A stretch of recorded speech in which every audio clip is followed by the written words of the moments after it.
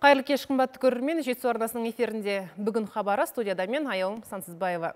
Бүгінгі студия қонағымыз Қаратал ауданының әкімі Ұлан Досымбеков. Студиямызға қош келдіңіз. Ұлан мырза, сіз Қаратал ауданына қараша айының қараша айында иә, әкім орынбасары болып келдіңіз. Одан осы қаңтар айының 19-ында әкім болып тағайындалдыңыз. Осы уақыт аралығында қандай жұмыстар атқарылып жатыр Қаратал ауданында? Жалпы өткен жылдың қорытындысы бойынша ауданымыз әлеуметтік экономикалық даму көрсеткіші толық орындап шықты. Мәселен аудан бюджет кіріс бөлігі немесе бюджетке төленетін басқа да міндетті төлемдерді жинау екі миллиард екі жүз елу миллион теңгені құрайды. Жетіп жүз қырық тоғыз бүтін оннан тоғыз пайызға орындалды. Ал шығыс бөлігі алты миллиард жеті жүз сексен екі миллион теңге. екі мың он үшінші жыл тоғыз миллиард бес жүз отыз алты миллион теңге болады. Енді бүгінгі таңға ауыл шаруашылығы саласында өндірілген жалпы өнім көлемі екі бүтін оннан төрт пайыз өсіммен қырық сегіз миллиард тоғыз жүз жиырма алты миллион теңгенің өнімі өндірілді. Екі мың жиырма үшінші жылға жоспар елу екі бүтін оннан екі миллиард теңгенің өнімін өндіру жоспарлаудамыз. Ауыл шаруашылығына тоқталдыңыз ғой енді нақтылай кетсек. Қаратал ауданы күріш өсіруден жетісу облысында жалғыз аудан болып саналады иә? Биылғы жоспарларыңыз қандай? Жалпы биыл мың гектарға бес шаруа қожалығы күріш егуді жоспарлап отыр. Ол ескелді ауылдық округі мен бастау ауылдық округіне қарасты. Осы айдың 15-нен кейін 15-нен 20-сының аралығында егу жұмыстарын бастайды. Мың гектарға жоспарлап отырмыз. Негізі күріш суды көп талап ететін өнім түрі ғой. Былтырларда мысалы су тапшылығы болып жатты. Бұл мәселе қалай шешіліп жатыр? Енді мен өз былай алдыңғы жылдарға есеппен қарайтын болсақ осыдан үш төрт жыл бұрын екі жарым үш мың гектарға дейін егілген екен. Енді су тапшылығына байланысты егіс көлемін азайтып отырмыз. Мыңға иә? Иә мың гектарға. гектар иә? Ал қант қызылшасын себумен қанша шаруа айналысады? Биылғы өнім көлемі қалай болады? Қант қызылшасына биылғы жылғы ауданымызда мың бір жүз шаруа мың бір жүз гектар алпыс сегіз шаруа қожалығы егуді жоспарлап отырмыз. Оның сыртында алпыс сегіз шаруа қожалық осы қазір қант зауытымен келісімшартқа отырып көктемгі дала жұмыстарына қаржылай көмек алуда. Қалай сонда? Биылғы субсидия көлемі қырық теңгеден иә? қырық теңге иә. Он бес теңгесін зауыт береді. Жиырма бес теңгесін үкімет төлейді иә? Сіздер мына көксұзық қант зауытымен келісімге тұрдыңыздар ма? Отырдық. Бүгінгі таңға алпыс сегіз шаруа қожалығы мың бір жүз гектарға тұқымды сол көксу қант зауытынан алдық. Қанша гектарға егеміз дедіңіздер? Мың бір жүз гектарға жоспарлап отырмыз. Мың бір жүз гектар. Ал ауданда мына жайылымдық жерлерге тоқтала кетейік. жетпіс бес мың гектар пайдаланылмай жатқан ауыл шаруашылығы жерлер анықталды иә? Қаратал ауданында.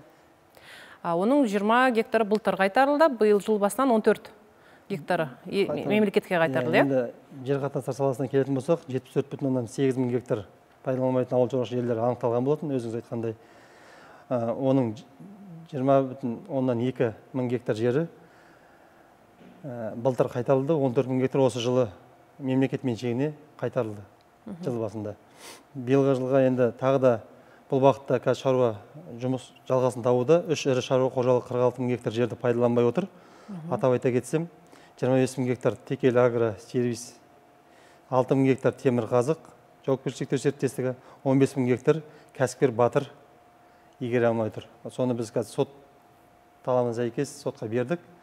Кері қайтаруға жұмыстар жүргізуде сот тәртібімен. Тек сотпен ғана өз беттерінше бер қайтарылмай отыр иә жерлер ал құрылысқа тоқталсақ өткен аптада ғана облыс әкімі бейбіт исабаев қаратал ауданына барып бірқатар әлеуметтік нысандардың құрылыс жұмыстарын көріп қайтты.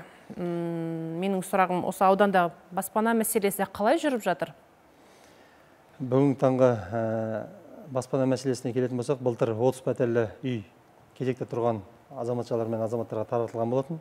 Биылғы таңға қырық пәтерлі үй салынып жатыр жалпы үй кезегінде мың үш жүз жиырма тоғыз адам кезекте тұр. Енді оның сыртында мына әлия сервис жауапкершілігі шектеулі серіктестік жеке кәсіпкер өз тарапынан 15 тұрғын жер үй салып беруге келісім жасап отырмыз. Жер телімі қазір белгілі. Ол жерде су жүйесі электр желісі бәрі тартылған. Олар осы мамыр айына дейін 15 үй салып қолданысқа береді. Кезекте тұрған азаматтарға береміз. Ал келесі жылға екі алпыс пәтерлі үй бір жиырма жалгерлік жер үй салынатын болады. Сол кезек кезекте тұрған азаматтарға таратылады мың үш жүз адам дедіңіз ба? Кезекте тұр қазір? Мың үш жүз жиырма екі адам ал жолдар бойынша жалпы қаратал ауданындағы жолдардың жағдайына тоқталсаңыз мысалы қандай жұмыстар атқарылып жатыр? Сапасы қалай? Ең негізгісіне тоқтала кетейінші сұрағым үштөбе көпірлік ауылы иә? Ауыл аралығындағы жетпісінші шақырымына дейін ойық ойық шұңқыр талай көліктер жолда қалып жатыр. Бізге жиі тұрғындар хабарласады ғой. Қандай жұмыстар атқарылып жатыр осы үштөбе жолдар бойынша қаратал ауданының жалпы пайдаланудағы автомобиль жолдарының ұзындығы жеті жүз алпыс жеті шақырымды құрайды. Оның ішінде қырық төрт бүтін оннан төрт пайызы облыстық маңызы бар жолдар. Үш жүз жетпіс бір шақырым және елу бір бүтін оннан алты пайызды аудандық маңызы бар жолдар құрайды. Э, елді мекендер шегінде 396 километр шақырым. Енді бүгінгі таңға жаңа облыстық маңызы бар жолдарды жөндеуге күтіп ұстауға және жобаларды әзірлеуге төрт бүтін оннан алты миллиард теңге қаражат бөлініп жатыр облыс тарапынан. Э, өткен жылы тастөбе жылыбұлақ ауылдық округтерінде осы орташа жөндеу жұмыстарына 45 миллион теңге игерілген. Бүгінгі таңға үштөбе көпірлік бағытындағы жолдарды жөндеу жұмыстары кезең кезеңмен жүргізілуде. Былтыр 28 шақырымы орташа жөндеу жөндеуден өтсе биылға 30 шақырымына жөндеу жұмыстары осы жылдың соңына дейін аяқталу күтілуде. Енді мына маусым айында тағы да жетпіс алты шақырымына жөндеу жұмыстары басталады деп жоспарлап отырмыз. Қазір облыстық жолдар басқармасымен бірлесіп жұмыс ұйымдастырып жатырмыз үштөбе ішіндегі жолдар қаласының ішіндегі? Ішкі жолдар қазір қаражаты бәрі бөлінген. Бүгінгі таңға экспертизаның сараптама сараптамадан оң қорытындысын алғаннан кейін жолдар қалыпқа келтірілетін болады. Қазір сараптамада жатыр. Тұрғындардың жиі шағымданатын мына төле би көшесіне тоқталайықшы. Жеті жыл бұрын жасалмай келе жатыр ғой. Ақшасын жымқырып қойды. Ол кісі содан бері әлі жолда жасалған жоқ. Азабын біздің тұрғындар тартып жатыр. Енді төле би көшесіне келетін болсақ бұл өте негізі ұят жағдай енді. Мемлекеттік қызметкерлердің бәріне сын болып көрінеді. Ә, бірақ бүгінгі таңға қазір газ тарту мәселесі жүргізіледі. Осы мамыр айында. Содан кейін ә, бізде ақшасы бәрі отырған 160 миллион теңгесі. Ол жолдың да сараптама өткізгенге біз экспертизаға беріп қойдық. Оң қорытындысын шығарғаннан кейін біз жол жасайтын боламыз. Осы қыркүйек айына дейін бітіретін боламыз алла бұйырса яғни бірінші газ тартып аласыздар содан кейін барып төле би көшесін жасауға нақты кірісетін боламыз. кірісесіздер иә? Газға келейікші үштөбе қаласында жалпы қаратал ауданында газдандыру биыл биыл емес жалпы отыз отыз бес елді мекеннің он тоғызы газдандыруға жатады иә? Иә. Биыл олардың он бірін. Он біріне тарту жоспарда ма? Жалпы қаратал ауданында отыз бес елді мекен бар. Оның он тоғызына он тоғызын газдандыруға жатады. Екі мың он тоғызыншы жылы үштөбе автоматтандырылған газ тарту станциясы және ұзындығы қырық төрт бүтін оннан жеті шақырым газ құбыры пайдалануға берілген. Автоматтандырылған газ тарту станциясында іске қосу реттеу жұмыстары аяқталғаннан кейін ағымдағы жылдың мамыр маусым айларында қанабек оян ауылдарына табиғи газ берілу жоспар күтілуде. Одан басқа көкдала ескелді ауылдық округтерінде осы жылдың екінші жартыжылдығына газ қосылады деп жоспарлаудамыз. Сонымен қатар өткен жылдан бастап үштөбе қаласында жеті миллиард теңгеге газ тарту желілері құрылысы жүргізілуде бүгінгі таңға дейін. Осы жұмыстар аяқталғаннан кейін біз кезең кезеңмен іске қосатын боламыз. Жалпы 2024-25-те газ толығымен тартылып болады. Биыл әлі қосылған жоқ газ. Берілген жоқ иә? ауданға келген жоқ әлі газ иә? Тек тарту жұмыстары жүргізіліп жатыр иә. биыл беріледі ғой? Иә биыл тамыз айында берілу жоспарлануда мына қаланың шығыс аймағында жыл аяғына дейін тұрғындардың қырық пайыз тұратын қаланың шығыс аймағында газ құбырларын пайдалануға берілу күтілуде. Жаңа сіз көпірлік деп айтып кеттіңіз. Көпірлікке тоқталайықшы. Көпірлік ауылы осыдан екі ай бұрын біздің әріптестеріміз көпірлік ауылына барып сап сары лай суды алып келіп сіздердің түкіш бөлімінің басшысына берген болатын. Көпірлік ауылының тұрғындары осындай сап сары суды лай су ішіп отыр иә? Сіз өзіңіз жалпы бардыңыз ба сол ауылға? Көрдіңіз ба? Ол, ауылға мен сол өзіңіз айтқандай ә, жетінші қарашадан сол аудан әкімі орынбасары болып тағайындалғанда сол ауылдың тыныс тіршілігімен танысуға барған болатынмын одан бері бүгінге дейін төрт рет сол ауылға барып қайтқанмын халықпен де есептік кездесу жасадық. Ә, бүгінгі таңға ол мен мән жайды жақсы білемін қазір көпірлік ауылында орталықтандырылған ауыз су сапасы санитарлық нормаларға сәйкес келмейді. Ол жерде фтор және тұз екі еседен асады. Ә, бірінші кезекте жерасты суының қорларын анықтау іздеу жұмыстарын жүргізу қажет осы алдымыздағы осы екінші үшінші күндері облыстық тұрғын үй шаруашылық басқармасының қызметкерлерімен біздің жауапты қаратал ауданының жауапты мекеме қызметкерлері барып көзбен көріп қайтатын болады. Ә, сонда ол кісілер осы уақытқа дейін барып көрмеді ма? Көпірлікті енді оны мен нақты білмедім. Бірақ та мен осы келгелі бері бұл мәселемен тығыз айналысып жатырмыз. Іздестіру жұмыстарына жүз сексен бір миллион теңге сұраныс берілген. Бірақ екі мың шатаспасам екі мың екі мың жеті екі мың сегізінші жылдары іздестіру жұмыстарын жүргізген кезде ә, жерасты суларында ә, жаңағыдай осындай тұз фтор мәселесі шығып жатқан енді біз қазір оның бер жағында дончи деген ауылдық елді мекен бар. Қызылбалық ауыл ә, бәйшегір ауылдық округіне қарасты. Сол ауылдан сол қаражатты бекер шығынға ұшатпай тікелей сол ауылдан бір тартсақ жиырма сегіз отыз километр. Сол мәселе бойынша ертең барып жауапты мамандар көреді. Одан кейін нақты бір кел, неге келетін боламыз шешімге. Ал біздің әріптестерге сол уақытта екі ай бұрын ә, сіздердің қызметкерлеріңіз фильтр қоямыз деп айтыпты. Енді бұл мәселе бойынша фильтрді мәселесін бұл үнемі бізде тұрғын үй шаруашылық және автомобиль жолдар бөлімі тарапынан алынып беріліп отқан. Екі жылда бір алынып беріліп отыр ма? Иә. Ал беріліп отырса ол неге сары су ішіп отыр әлі күнге дейін? Фильтрдің жұмыс жасамағандығы ма? Енді жаңағы фтор тұздың көп болуына байланысты фильтр тез бітіп қалады. Жаңа фильтрдің өзі де аз ақша тұрмайды алты жеті миллион теңге тұрады. Сол бір ауылға екі ауылға он екі миллионға алынып берілген. Ол қанша уақытқа шыдайды жарайды? Енді қазір бүгінгі таңға ә, ауылдың тұрғындарының айтуына қарағанда бір бір жылдың ішінде уже тозығы жетіп жаңа шыққан. Қазір ауыл бір құдықтан су ішіп отыр. Енді жаңа айтқан мәселені қазір барып зерттеп зерделеп көріп келгеннен кейін бір шешімге келетін боламыз. Жалпы аудандағы ауыз су мәселесіне тоқтала кетіңізші. Ауыз су тарту жұмыстары қалай жүргізіліп жатыр? Ауыз су тарту мәселесі қазір бізде ә, аудандық таза су мекемесі бұрыннан жұмыс жасайды бүгінгі таңға дейін. Қазір бүткіл отыз бес елді мекенді қазір үштөбе қаласы ғана қараған отыз бес елді мекендегі ауыз су жүйелерін біз солардың теңгерімін өткізіп беруге жұмыс жасап жатырмыз жалпы бізде осы бір мәселе көпірлік ауылында ғана туындап отыр. Басқа елді мекендерде ә, жаңағы көшеге таза ауыз су мәселесі қараталда тек көпірлікте ғана емес қой.